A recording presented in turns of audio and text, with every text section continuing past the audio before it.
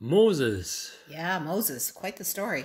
In the Bible, right after Genesis, from Exodus to Deuteronomy, Yep, four books to amazing, read. All the- amazing story. All the events and mm-hmm. story and life of Moses. Yep, yep. And I have to wonder if I was a mother, could I put my newborn baby into a basket and place him in the Nile River with the hope of someone finding him? Oh. I don't think I could do it. I mean, Moses, we learn, right? He was born into humble beginnings, into Yep. a Hebrew family. Mm-hmm. And then the Bible tells us um, uh, the reason that the mother did that was Pharaoh, the leader of the country, ordered to kill all male babies Terrible.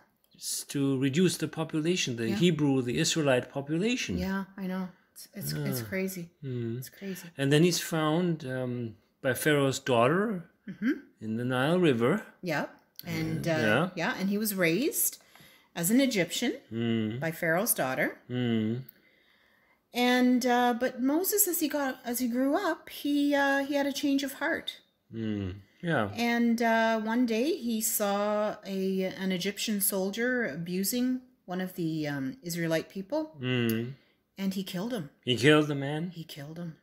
Moses killed the Egyptian. Yeah, And then he had to flee, Moses had to flee the country yeah, because Pharaoh heard about that incident and he was going to kill him. Yeah, So Moses had to flee, yeah. Terrible. which he did. Yeah, yeah. And he ended up living uh, for forty years as a shepherd in the wilderness. 40 So- years. Forty years. 40 years. That's a long time. and then one day was different Yep. than all the other days. Yep.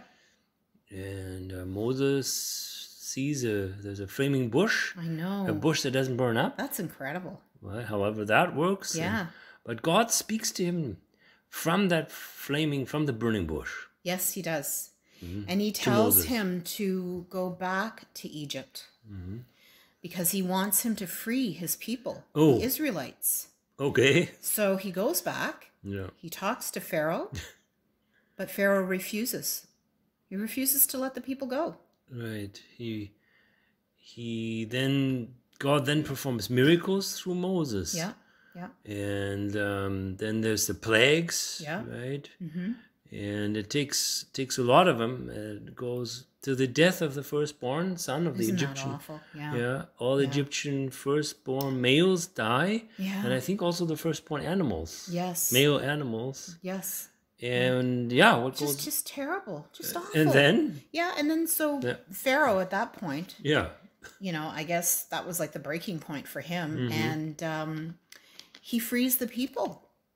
yeah, So the Israelite people now Finally. leave. They leave Egypt. yeah.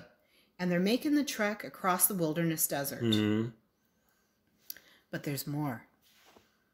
Uh-huh. Pharaoh changes his mind. Again, Yes. after letting them go. after letting them go, and he chases after them with a huge army, Ah, and he catches up with them. Can you believe that? He catches up with them. Hmm. And at this point, they have nowhere to go. Yeah, They're stuck at the Red Sea. so they've the got army. Pharaoh's army on one side coming after them, Yeah. and then they've got the Red Sea in front of them. So will Pharaoh and his army kill the Israelite people? That's a really good question because they have nowhere to go. Or do they? Real events, real people. Check it out.